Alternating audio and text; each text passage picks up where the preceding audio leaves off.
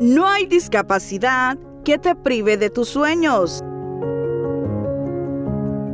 Arnold Vanegas es un joven emprendedor no vidente que junto a su esposa y hermana han creado una empresa de masajes llamada Masajes Terapéuticos Manos Milagrosas, que hoy en día cuentan con sucursal en Tegucigalpa y San Pedro Sula.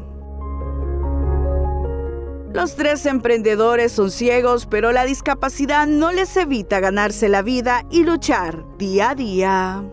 Eh, Manos Milagrosas fue algo que yo inicié hace más o menos un año y medio. Eh, somos personas ciegas todos los que lo componemos, mi esposa, mi hermana que está en San Pedro, porque también en San Pedro tenemos masajes. Eh, entonces lo iniciamos hace más o menos un año y medio. ¿De dónde surgen ustedes?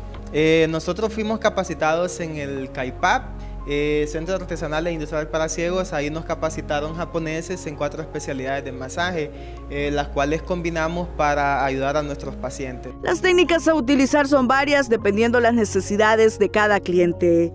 Cada masaje tiene fines terapéuticos. Tenemos lo que es la reflexología, que es un masaje específicamente en la planta de los pies. Eh, también tenemos lo que es el Chiapsu, que en mi opinión el Chiapsu es lo más milagroso y efectivo que existe para quitar cualquier tipo de dolor muscular o dolor de espalda. Incluso sirve para corregir eh, cuestiones de la columna. Es muy, muy profesional y muy profundo. Y el masaje a base de aceite, que es el más tradicional y el más conocido. Eh, usamos aceite, el masaje se hace sin ropa normalmente, pero usamos toallas para cubrir a, a nuestro paciente.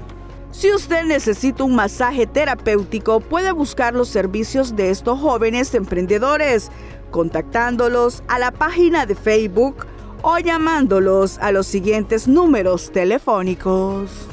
Pueden seguirnos en nuestra página, Masajes Terapéuticos Manos Milagrosas en Facebook y pueden contactar a, nuestro teléfono 32 78 63 35. Ese es el número para Tegucigalpa eh, y el de San Pedro Sula es 88 29 01 25. En San Pedro estamos ubicados en la Fundación Luis Braille en la colonia Villa Florencia.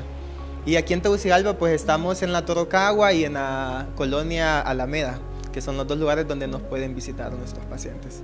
En cámaras de Alejandro Irías les informó para Hable Como Habla Brenda Moncada.